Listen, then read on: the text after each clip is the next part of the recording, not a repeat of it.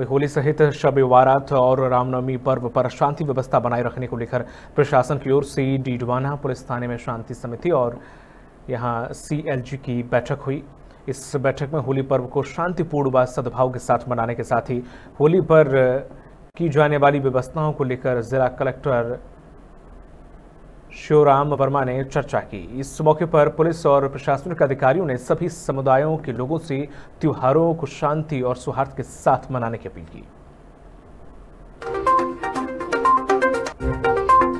आगामी जो त्यौहार है, उनके लिए मैं समस्त नागरिक जनों को शुभकामनाएँ देती हूँ। आज की शांति समिति की बैठक का पर्पज यही था कि आगामी जो त्यौहार है, उनकी व्यवस्थाएँ हैं सुचारू रूप से हो, प्रशासन की तरफ़ से, पुलिस की तरफ़ से जो सहयोग होगा वो यथासंभव किया जाएगा। पानी की व्यवस्था है यहाँ की पारंपरिक गेर निकलती है, उसमें जो व्यवस्थाएँ हैं, वो सुचारू रूप से किए जाने का निर्णय लिया गया और सद्भावना से आपसी सौहार्दता से त्यौहार मनाया जाए।